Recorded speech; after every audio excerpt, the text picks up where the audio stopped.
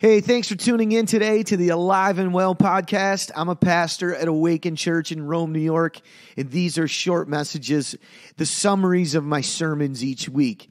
It's my hope and prayer that today you find inspiration in something you hear only so that you can live out your life as a fully devoted follower of Jesus, empowered by the Holy Spirit. So today we look at Acts chapter 1 and we learn three important things about how we should be living as followers of Jesus. So let's dive in and take a closer look at Acts chapter 1. The book of Acts is a record of the early church apostles and how they continued the ministry of Jesus Christ through the power of the Holy Spirit into Jerusalem, Judea, Samaria, and eventually into the entire Gentile world. It is a book full of inspiring history that reminds us why we are here today as worshipers of Jesus Christ. This fearless group of men and women, including Peter and Paul, were tenacious and determined in the face of persecution to rise up and be the witnesses of Jesus Christ as they were commanded in Acts chapter 1. But they would not have been able to accomplish any of these acts without the endowment and outpouring of the Holy Spirit into their lives, their homes, and their communities. This baptism of the Holy Spirit was an extension of the ministry of Jesus, an experience distinct from salvation, and it is clear that this is still available to every one of us who would so desire it. In the first chapter of Acts, Jesus appears to his disciples and commands them to be witnesses of him, but to first wait for the Holy Spirit. This is the first thing we learn in Acts. We should be expecting to receive the power of the Holy Spirit. How do we raise this expectation? This confidence of receiving a divine enablement and empowerment for witnessing.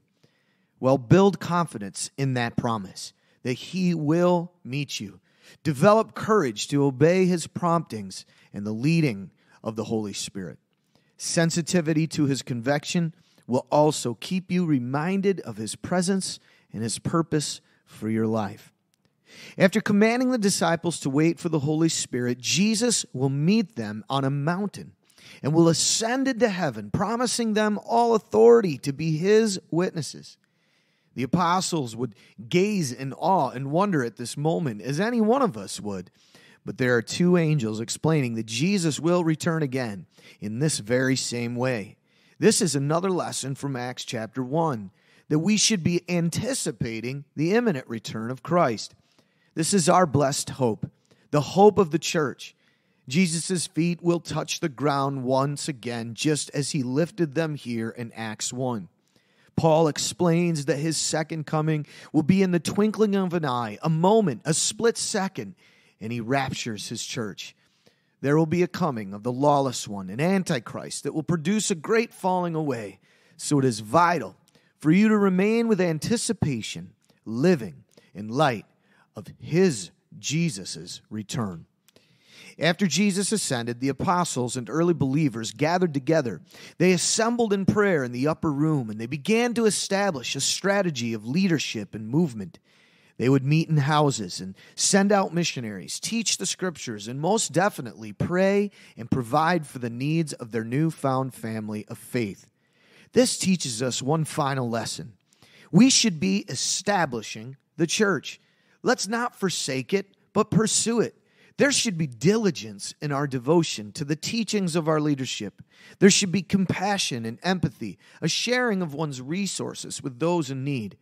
Take time to eat, drink, and do life with those who share in your faith.